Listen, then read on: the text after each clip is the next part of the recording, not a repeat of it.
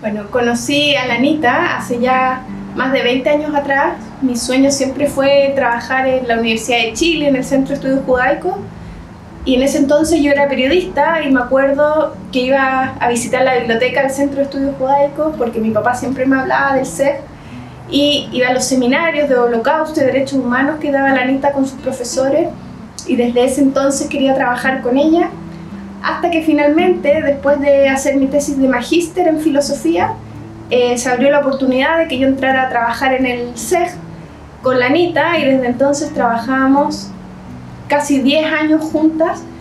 eh, en un recorrido muy lindo eh, de nuestro desarrollo profesional. Y lo que más recuerdo con cariño son las clases que hacíamos juntas, cuando se nos permitían en ese entonces ir las dos a hacer las clases. Y sobre todo, a pesar de que teníamos muchas diferencias en relación a cómo enfocar eh, la vivencia o lo que significa pertenecer al pueblo judío y cómo transmitírselo a los alumnos, desde esa diferencia eh, nos pudimos encontrar y hacer que los alumnos comprendieran eh, la complejidad de lo que significa la pertenencia a este pueblo. Y eso lo pudimos hacer juntas, gracias al cariño que las dos le tenemos a, a hacer clase.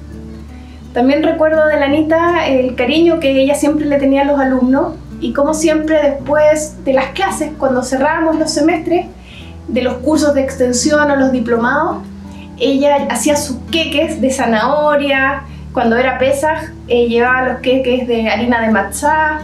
incluso llevaba matzá para mostrarle a los alumnos, siempre muy preocupada de, de los alumnos y de mostrar su cariño a través de,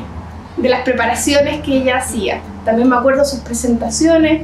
eh, llenas de colores, de videos, que hacían que las clases fuesen mucho más entretenidas.